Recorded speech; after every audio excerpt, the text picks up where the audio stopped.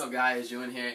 Sorry for uh, my apparel here. Apparel here. I just got back from um, not school. Just got back from work, and so this video, Cambodia Initiative. So this Cambodia Initiative is tomorrow, Tuesday, after school, um, and also we're gonna have something during school. So we're during lunches, all lunch periods. Um, what this is is a um, you know it's like it's called the Cambodia Initiative because we're trying to raise awareness and raise um, money for students in Cambodia. So there's 50 students in Cambodia who need a place to live. So we're going to be providing a dorm for them, and we're going to be providing a um, education for them as well.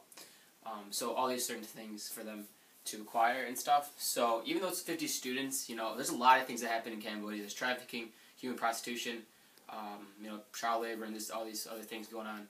Um, so they're exposed to a lot, and then these students aren't able to, you know, travel back and forth from school because the parents want them to start working.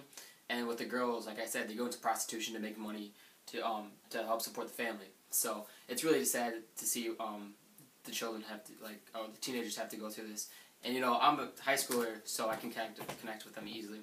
Um, so doing that, and that's after school. So I don't want to confuse you guys. It's after school. We're we're doing that, and we're going to be showing a video as well, 28 minutes, and that's in room 224 of the study hall. And going back to like during school, lunch hours, it's going to be the exact same thing, but we won't be showing the video. We'll just be telling you guys about what this is and stuff.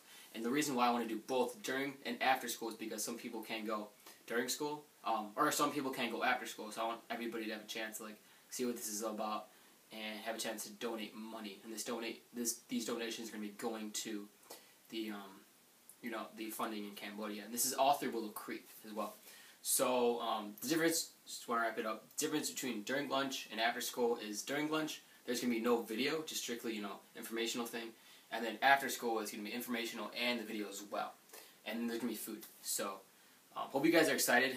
Um, and I'm excited as well. And there's to be uprising as well Wednesday. Another chance for you guys to give money on Wednesday during lunch as well.